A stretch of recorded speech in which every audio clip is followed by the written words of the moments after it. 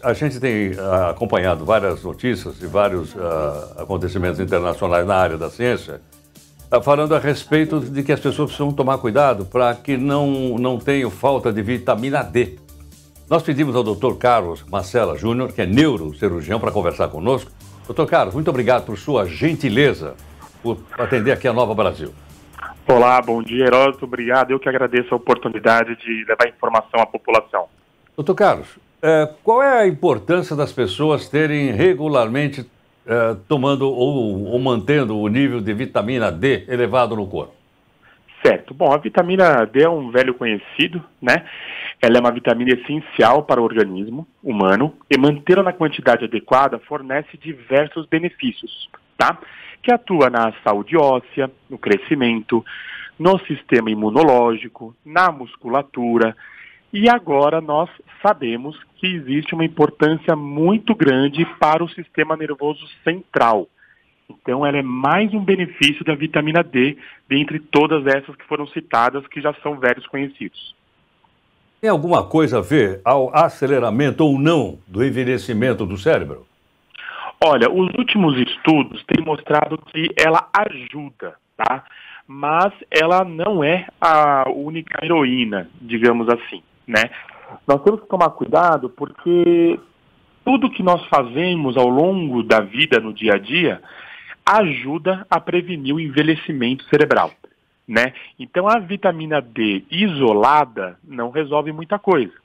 Mas, respondendo de forma direta, os estudos mostram que algumas áreas cerebrais têm mais receptores, ou seja, locais que aceitam a vitamina D e tem alguma ação naquela região.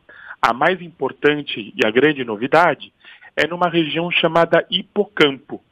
Esse hipocampo ele é responsável pela eh, memória e pela retenção de informação.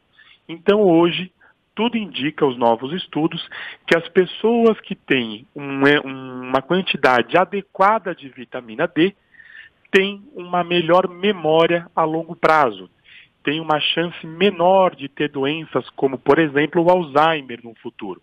Mas lembrando que não é somente a vitamina D. Temos que ter também uma boa saúde do sono, fazer, fazer leituras constantemente, ter uma vida saudável de forma completa. Ok? Ok, doutor Carlos, mais uma, uma, um esclarecimento. As pessoas precisam tomar suplementos de vitamina D ou o que a gente já encontra nos alimentos é suficiente? Olha, é, nós temos três modos de obter a vitamina D. Primeiro, o sol, né? O sol, 15 minutos de exposição aos raios solares diariamente, nós já podemos obter a forma mais natural possível de vitamina D. Claro que nos protegendo, né, para não ter outros problemas, efeitos colaterais do, do sol, digamos assim. A segunda fonte são alguns alimentos, principalmente gema de ovo, leite integral, cogumelos, manteiga, atum, salmão e outros tipos de peixes e frutos do mar. E também podemos obter de forma sintética, que seriam as vitaminas que nós podemos encontrar em qualquer farmácia do bairro. Perfeitamente.